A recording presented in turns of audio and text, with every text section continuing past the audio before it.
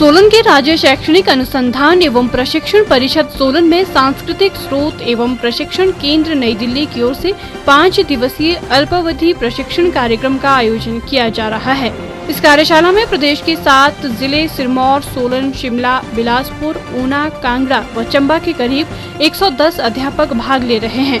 कार्यशाला का मुख्य उद्देश्य अध्यापकों को पाठ्यक्रम में सांस्कृतिक धरोहर, भाषा व लोक नृत्य के बारे में विस्तार पूर्वक जानकारी देना है। कार्यक्रम के समन्वयक शिव कुमार ने कहा कि सोलन के राज्य शैक्षणिक अनुसंधान एवं प्रशिक्षण परिषद में इन दिनों सांस्कृतिक स्रोत एवं प्रशिक्षण केंद्र नई दिल्ली की ओर से पाठ्यक्रम में सांस्कृतिक तत्वों का परिचय, विषय पर पाँच दिवसीय कार्यशाला का आयोजन किया जा रहा है।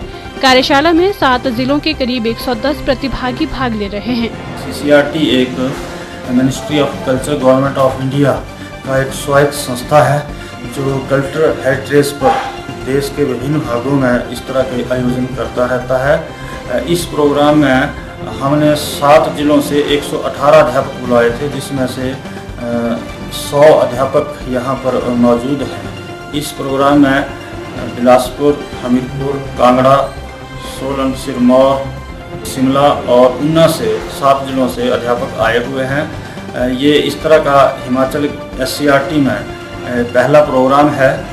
इस प्रोग्राम में जो भारत की संस्कृति धरोहर है, उसके बारे में अध्यापकों को बताया जा रहा है।